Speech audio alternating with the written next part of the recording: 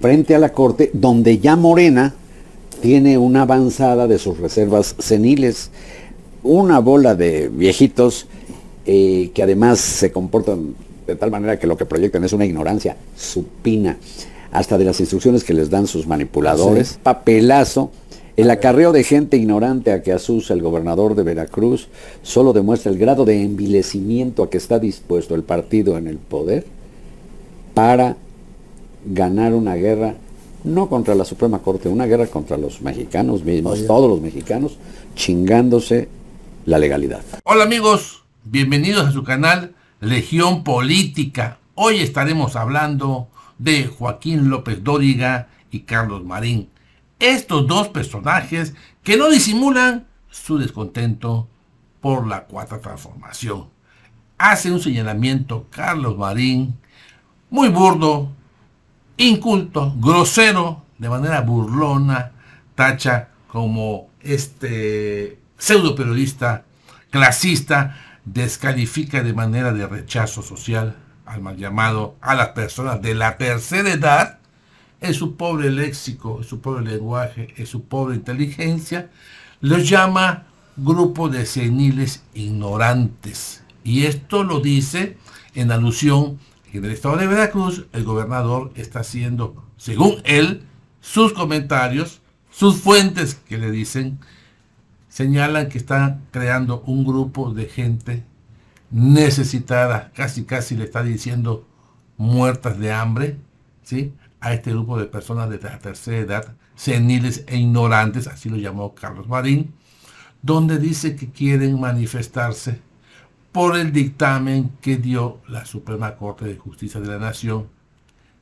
por eh, la reforma electoral, la primera parte que fue rechazada, y ante eso, pues, mucha gente, mucha sociedad, muchos ciudadanos en descontento, pues quieren que habla, que haya una, reforma, una reforma del Poder Judicial y que sea de una manera electoral elegir a sus ministros. Pues así lo calificó Carlos Marín, y la verdad que ha sido muy señalado ese comentario fuera de lugar, porque siento yo, amigos y amigas, que independientemente de que no estemos de acuerdo, siempre lo he dicho, con la ideología o la forma de actuar o pensar de terceras personas, de la edad que sea, siempre debe implorar el respeto, porque si ellos se sienten unos periodistas, letrados, de experiencia, deja mucho que desear esos comentarios que de verdad son tan groseros,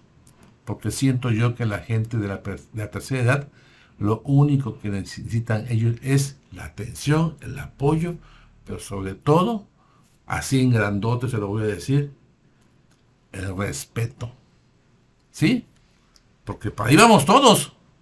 Entonces, yo creo que es muy importante valorar a las personas, valorar independientemente, como le dije, de la edad, está fuera de lugar este grosero comentario de Carlos Marín. Así que les voy a mostrar esta parte del video para que vean dónde llega este sí, su ignorancia y su pobre léxico. Veamos. Desde el domingo empezaron a circular versiones de que la ministra Margarita Ríos Farjat iba a votar a favor de la reforma del presidente López Obrador. Eso fue una insidia. Por eso, es eh, golpeteo amigo, ¿sí? Para presionarla. A mí me quedó muy claro solo por ver cómo ha votado en los anteriores asuntos la ministra Ríos Farjat para asegurar que ella no iba a votar a favor de la reforma del presidente. Pero fíjate lo que es la dignidad, la dignidad de esta señora. Fue la directora del Servicio de Administración Tributaria, nombrada por López Obrador. Y luego López Obrador la impulsa para ser ministra de la Corte y ella pues asume el papel. No es ya empleada del presidente o colaboradora, sino que está en otro poder. Es como el caso del otro ministro Juan Luis González Alcántara. Igual. ¿sí? de los que dice el presidente que son traidores. Porque él los propuso pues para que lo apoyaran. ¿Y qué dirá ahora del ministro Saldívar que votó con los otros ocho contra las del plan B? Fíjate, tocas ese punto, el ministro Saldívar, que votó en contra de la reforma del presidente. Su voto no hacía falta.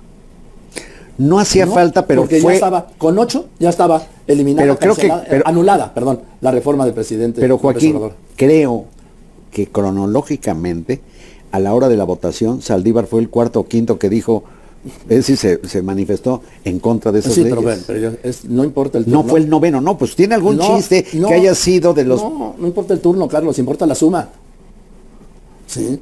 Para mí se importaba el turno, porque Bueno, no fue al sí, final. para ti te importa el turno, para mí me importa que se, que se votó, que hubo una mayoría calificada en el pleno de la Corte, la mayoría calificada en el pleno de la Corte es de 8. Oye, O sea que con cuatro votos el presidente gana. Oye, y sabes que con la cosa bochornosa de que plagió...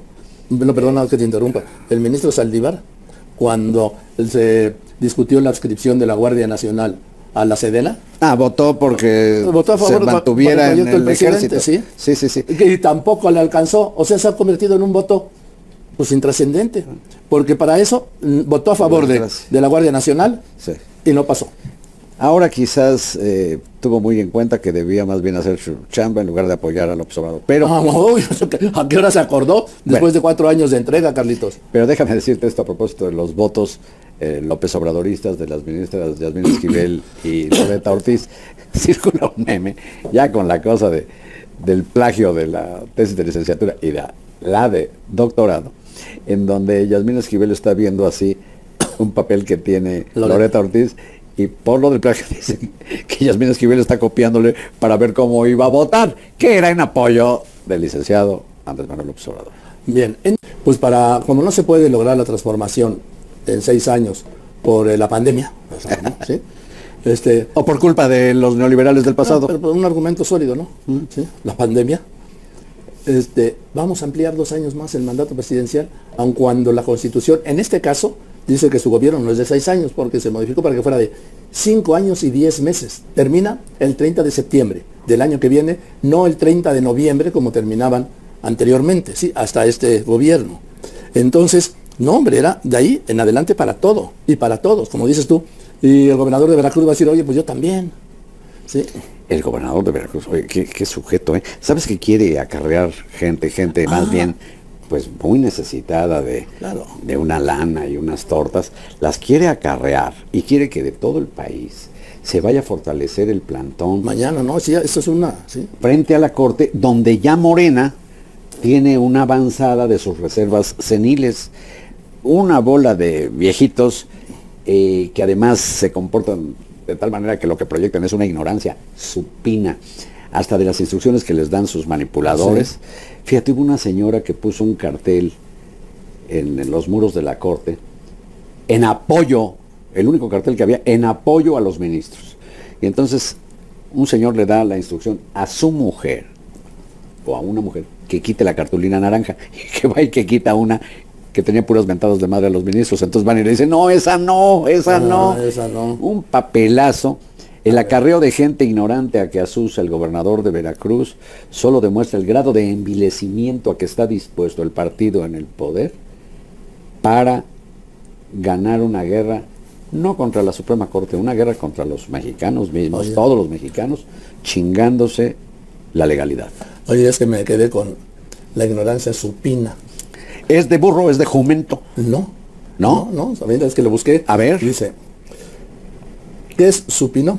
La palabra supino es utilizado desde la antigüedad para describir las posiciones que realizan las personas cuando colocan su espalda y parte posterior de piernas y brazos sobre una superficie estable. Es decir, el cuerpo se sitúa de manera horizontal.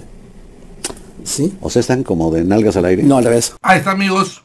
Vean hasta dónde Carlos Marín, el ignorante, el arrogante, misógino, porque también atacó a la ministra que votó en contra de la, a favor de la reforma, perdón, Esquivel. Y esto, ¿cómo es que de verdad se sienten tan importantes, tan elocuentes en que todo lo que dicen es la, la verdad absoluta? Ahí lo tienen amigos, la verdad que da mucho coraje la manera que llaman ignorantes a la gente que de bajos recursos. No se vale, no se vale. La verdad que Carlos Madín es un arrogante e ignorante. ¿Ustedes qué piensan amigos? Ahí está la información. Compártala, regálenme su poderoso like y apoyen al canal Legión Política. Suscríbanse. Saludos amigo Francis. Nos vemos en una próxima emisión. Adiós.